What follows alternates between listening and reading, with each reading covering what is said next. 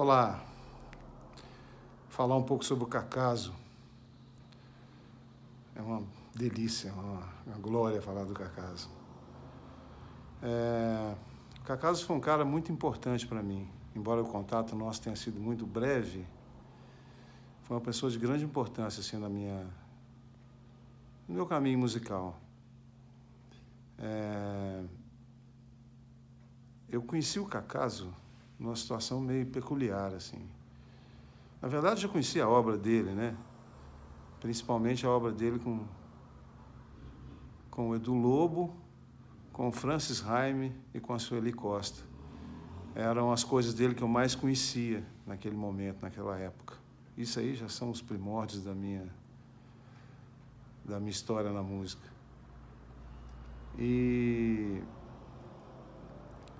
eu achava maravilhoso tudo que ele fazia, né? Assim, aquela é, é, um, é um é um, é um artífice, né, da, da palavra. Ele ia ele ia costurando os sentidos, tinha aquele senso de economia. Aí de repente você via uma ideia surgindo daquelas palavras que era maravilhoso, aquilo fantástico. Assim, eu sempre fui muito, muito, muito fã do Cacás mesmo. E aí, é, isso já tem muito tempo, eu fui participar de um festival de música em Lambari, no sul de Minas. E para mim já era o máximo participar desse festival, né? Assim, festival que tinha muita gente participando que já estava no primeiro escalão da música, né? É, Elza Soares, Martim da Vila, é, Sebastião Tapajós, é, Billy Blanco, então, para mim, era só de estar ali participando já era uma maravilha. Aí cheguei lá, me dei conta de que o Cacaso e o Cláudio Nucci também tinham uma música no festival. E aí isso eu fiquei muito feliz porque foi aí que eu conheci de fato o Cacaso. Aí conhecer o Cacaso vai vários passos além de conhecer a, a obra do Cacaso, né? Porque aí a gente entende por que, que é que ele escreve daquele jeito. É, é uma, uma uma, uma junção muito, muito clara entre o personagem, né, o autor e a obra. Né? O, o Cacau se parecia muito com o que ele escrevia. Né? E aí a gente fez uma amizade assim instantânea, fulminante, assim. Foi tão, tão bonito o encontro, sabe? E, e também com Claudinho, né? Com Claudio Nucci, que era o parceiro dele na música que concorria no festival. Então se criou um negócio muito engraçado, porque eu ficava torcendo para a música dele ganhar e ele torcendo para minha música ganhar. E eu acho que a torcida que deu mais certo foi a torcida dele, porque eu acabei ganhando o festival. Mas não deu tão certo assim, porque eu não levei o prêmio. Porque ninguém levou o prêmio. O Cacaso ficou assim, eu fiquei em primeiro lugar, alguém ficou em segundo, que eu não me lembro quem, e aí eu fui desclassificado. Era uma jogada lá do, do do regulamento, uma confusão. Aí eu fui desclassificado. Aí o segundo passou a ser primeiro, também foi desclassificado. Aí o Cacaso passou a ser o vencedor. E só que ele também foi desclassificado e ninguém recebeu. Então foi um cano absoluto, total, né? Mas isso acabou juntando muita gente e, a gente assim tava era, era um certo encantamento duplo com a, com a amizade, né? E aí a gente combinou de, da, da, próxima vez que eu fosse ao Rio, que eu fosse visitá-lo e tal, isso aconteceu. E, e eu me lembro que eu, o Cacás morava no, na, com a Rosa, né?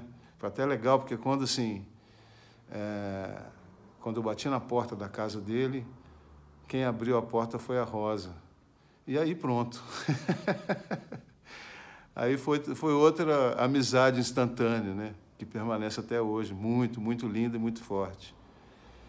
Amigo é tudo. E, e aí eu me lembro que ele estava sentado assim num lugar, na, de frente para o mar, né, na Avenida Atlântica, no Rio. E, e era como se ele tivesse ali só contemplando, mas ele, oh, eu estou trabalhando. Então, assim, assim era o Cacaso.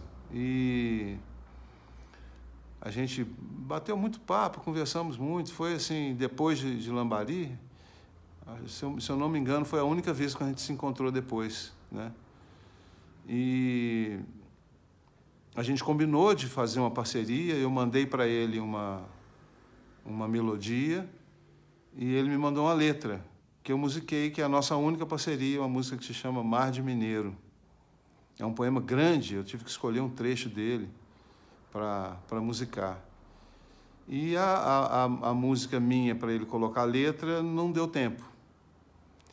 E aí foi, foi muito duro, assim, quando eu, quando eu soube que ele tinha partido. Eu me lembro exatamente onde eu estava, o que eu estava fazendo. E foi um sentimento de perda muito grande, assim, de, de perder um amigo tão recente, né? Assim, com tanta coisa, com tanta com tanta. Amigos realmente é tudo na vida mesmo. E, e de repente ver que, que essa, essa possibilidade, né, todas essas possibilidades de, de, de proximidade, de troca e tal, elas foram levadas né, pela partida do Cacaso. Mas de qualquer forma é um cara que, que deixou um legado monstro, um legado gigante para a música brasileira, assim, as parcerias todas dele. São coisas espetaculares, coisas lindas. E, e foi um cara que, que teve a digital dele né, muito bem definida.